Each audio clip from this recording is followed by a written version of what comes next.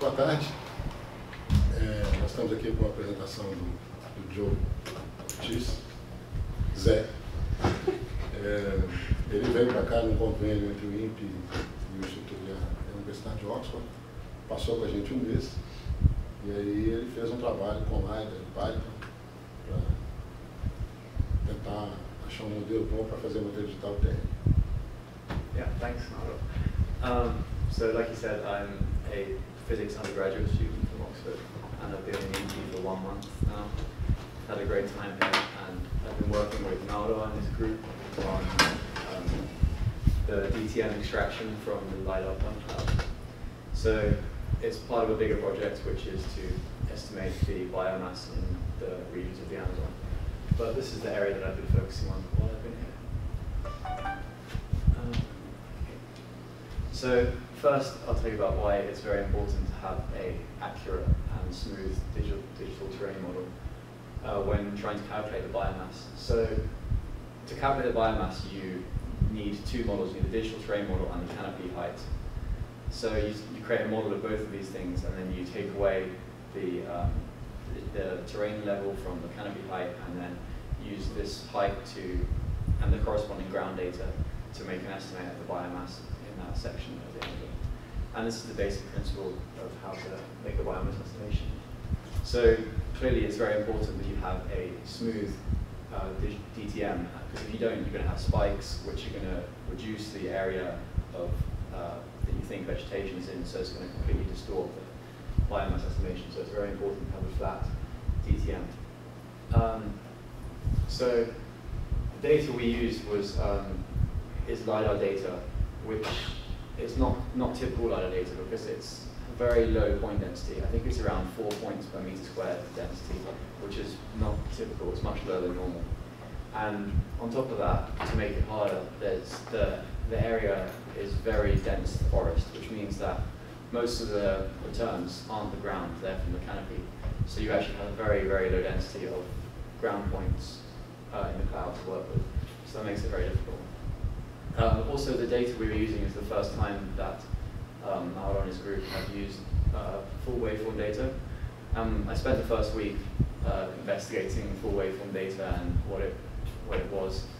And um, we found that the peaks in the waveform didn't quite correspond exactly to the points in the cloud, and there seemed to be an offset which was changing a bit through the data points, and we couldn't, we weren't clear on how, how it worked converting the waveform into point cloud. So we decided it's better to just ignore the waveform for now and maybe include it later, but for now just to work with the point cloud to create a DTM.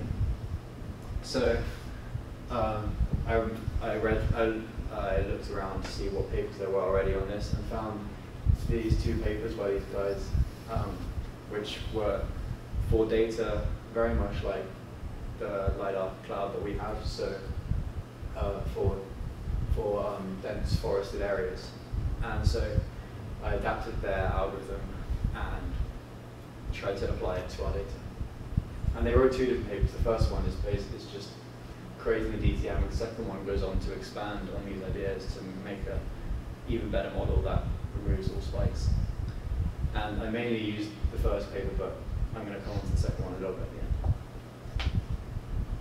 So the LiDAR data we get is like this. So it's orientated at whatever angle the flight was at.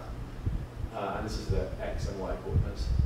And it's a long rectangular flight with these bits in the end, but we cut them off because the algorithm only deals with rectangular, rectangle areas.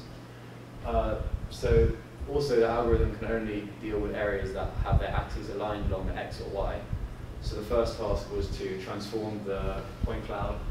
So the first thing I did was the translation to move the origin to up here where the arrow is. Um, and then I did a rotation on all the points in the cloud so that the, so that um, it's now the are now aligned on, aligned on x and y, and it, the first point, this point here, is at the origin basically, and the little white box there, that's this section here, which is like the first 200 meters on the x and it's 300 meters on the y, and that's the area I worked with um, to start with, because if you try and use a big area, it takes ages to process the points. So I just started working with this area. Uh, and here's a nice picture of it in 3D. Um, so in order for, to, for the algorithm to process this point cloud, the first thing to do is to divide it up into tiles. And the tiles can be around like 60 meters or up to 120 meters in diameter. And I chose here to work with like 100 meters by 100 meters, as it's suggested in the paper doing about that. But at the end, I tried different tile widths. I'll talk about that in a bit.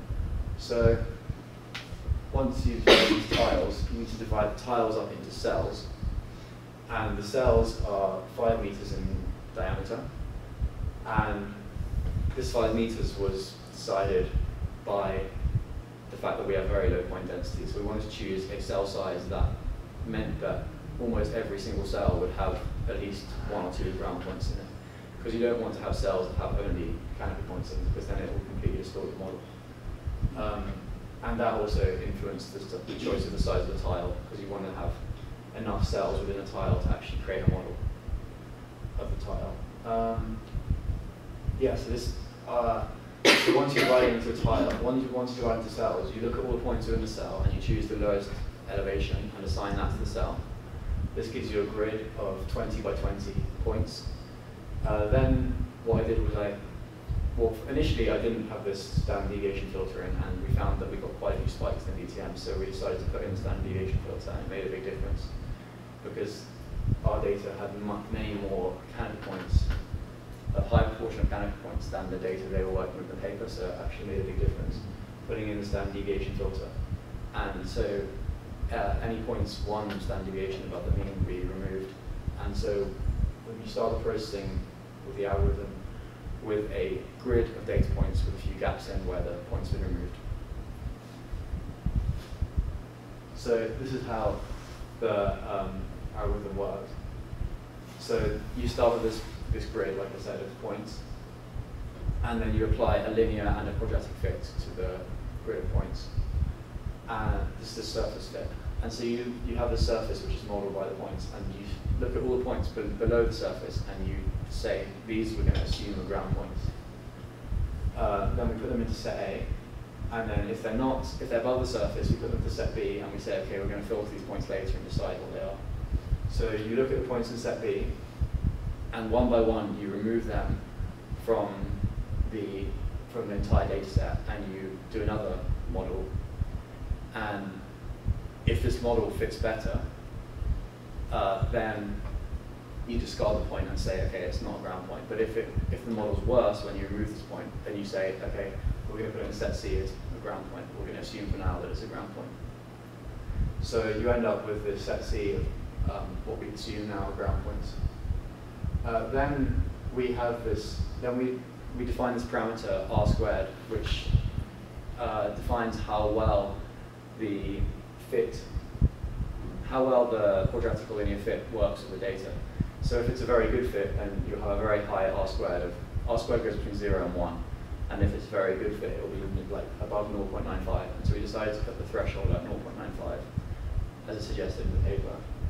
So if the fit uh, was a good fit, then it would have a value of R squared of like 0.98. And then we'd say, okay, um, this fit works. Then we're just going to do DTM interpolation with the quadratic linear fit. So um, this whole process happens with both the quadratic and linear fit. And then whichever one's better, you select and use it for the DTM interpolation. Um, and if neither the quadratic or linear fit works very well, if it's maybe like a cubic um, fit in the tile, then we do a process of slope filtering and cubic spline interpolation. Um, the first part, you just go along the x-axis and the y-axis, going through all the points um, and if there's a change in the sign of the gradient, then you replace that point with the average elevation of its two neighboring points. And that's the slope filtering process. And then, then you do spline interpolation on the remaining points to fill in the gaps and produce a DTM. And we produce the DTM at a resolution of 10 meters by 10 meter points, 10 meters by 10 meter cells. Um, this again we, so the last step of producing DTM with this resolution is you look at all the points, you create new cells at this resolution of 10 by 10, and then you look inside the cell, similar to 4, and choose the lowest point in that cell. So the DTM resolution is a bit lower than the resolution, than the size, a bit bigger than the size of the cells. You have a few cells in each DTM cell.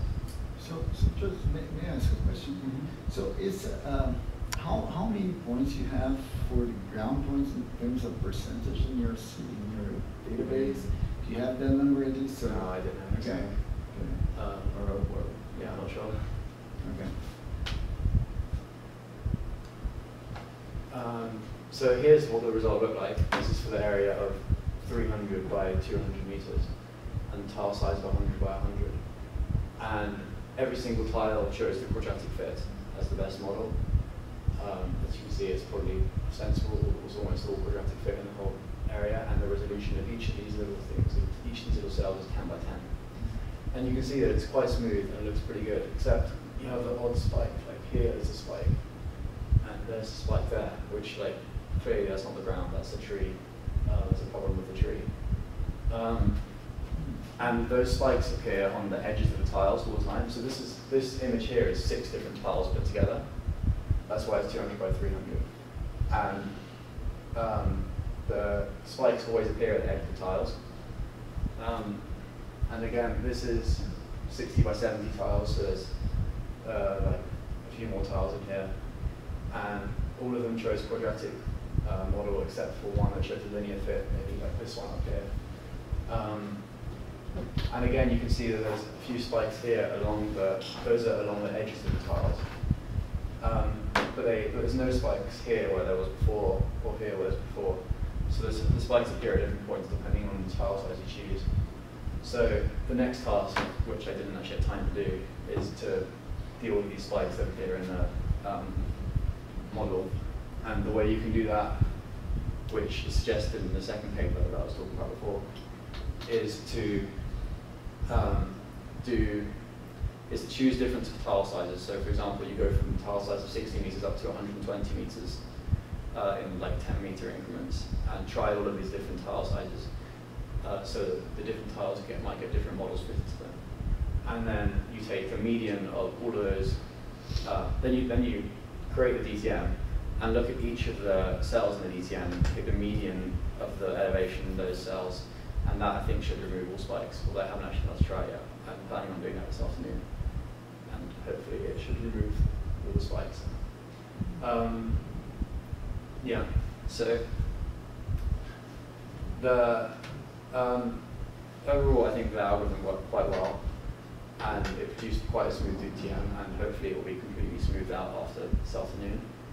But it needs to be tested on like much more area than I had. I already did that 600 meter area because it takes ages to process other things, and it definitely needs to be tested on like more complicated terrain that might have some cubic fits or other ones. Because I, I tried out some cubic fits, but not for several tiles, only for single tiles. So we need to try on for cubic fits for like big areas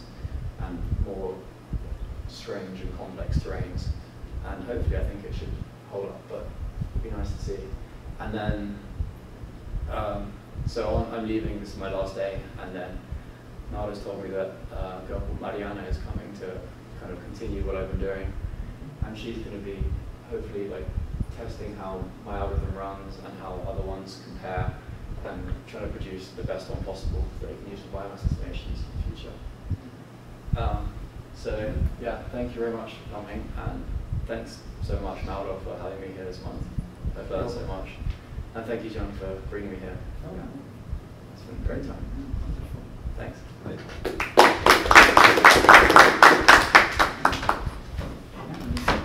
Great job. Yeah.